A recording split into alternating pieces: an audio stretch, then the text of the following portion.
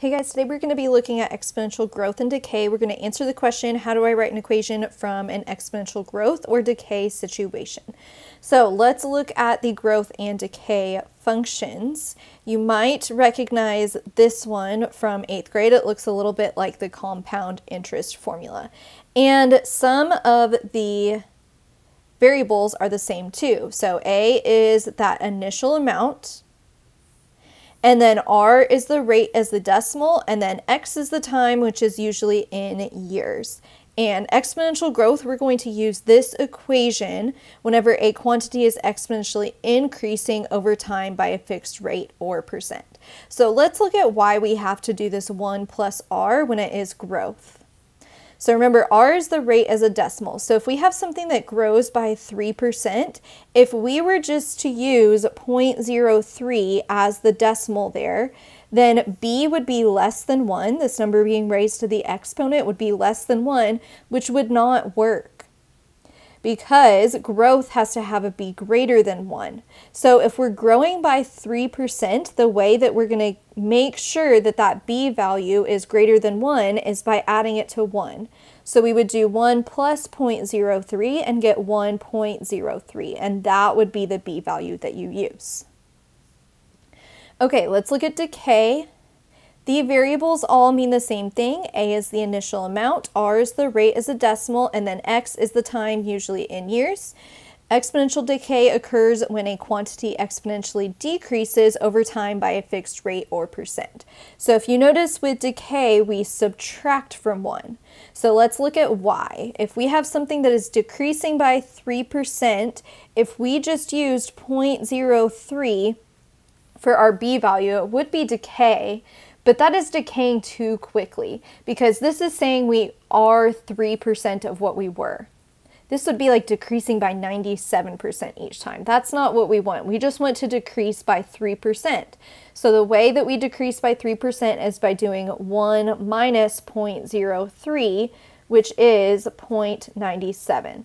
This makes much more sense because that is only decreasing by 3%. We are 97% of what we were before. So that is why we have 1 plus the rate for growth and 1 minus the rate for decay. So now let's look at a few different situations and see if we can write functions for these. The first one says Anthony buys a fancy new electric car for $50,000. The car depreciates 10% each year. Use an exponential function to find the value of the car in seven years. So we are depreciating, which is decay. So I'm going to use the decay formula, which is y equals a times 1 minus r to the x.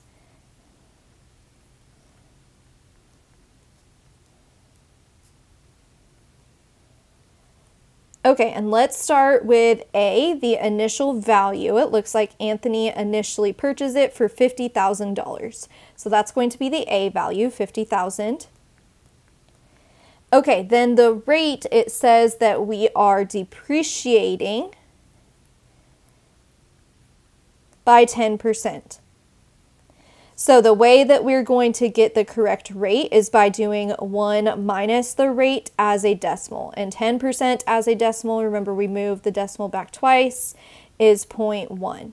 And 1 minus 0.1 is 0.9. So our rate is 0.9. So then that means that our function is y equals 50,000 times 0.9 to the x. And then to find the value in seven years, I will just substitute in 7 for x. So I will do 50,000 times 0.9 to the 7th.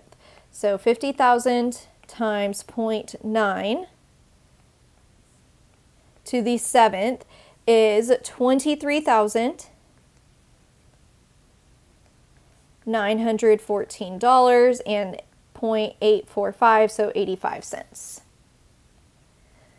Okay, let's look at number two.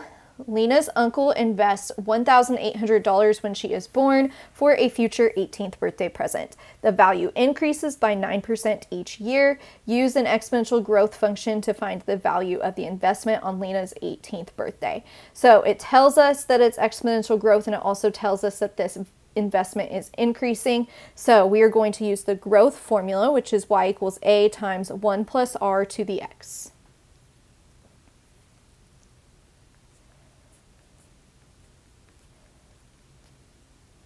So A is the initial value, which would be how much he her uncle invests when she is born, which is $1,800. And then the rate, it says that we increase by 9%. So to find the actual value that we're going to use for the B value, we're going to do 1 plus 0.09, which is 1.09.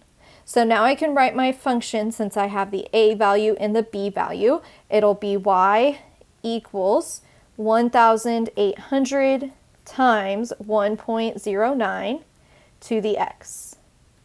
And then to find the value in 18 years, I'm just going to substitute in 18 for x. So I will do 1,800 times 1.09 to the 18. So 1,800 times 1.09 to the 18 is 8,000 $490.82 is what that would round to. All right, let's look at number three. In 2012, Emily started a new company with 18 employees. The number of employees increased 25% per year after 2012. Use an exponential function to determine the number of employees at the company in 2022. So this would be a growth function since it says that her employees increased. So the formula for that is y equals a times 1 plus the rate to the x. So the initial value would be when she started in 2012, which was 18 employees. And then the rate, it says we are increasing 25%. Increasing 25%. So that's why we're going to have to do 1 plus the rate. So 1 plus 0.25 is 1.25. So then our function is y equals 18 for the initial value times 1.25 to the x. Okay, and the last thing that they want us to do is determine the number of employees in 2012. So remember, or in 2022. Remember, 18 was the number of employees in 2012. So that's kind of where x is 0 since that's our initial value. 2022 is 10 years after 2012. So we're going to substitute in x equals 10 into our function to determine how many employees they'll have 10 years later in 2022.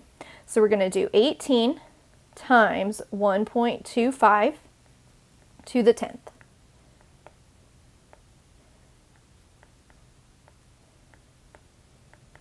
And we get 167.634 employees. I'm going to round that to 168 because you're not going to have a partial employee.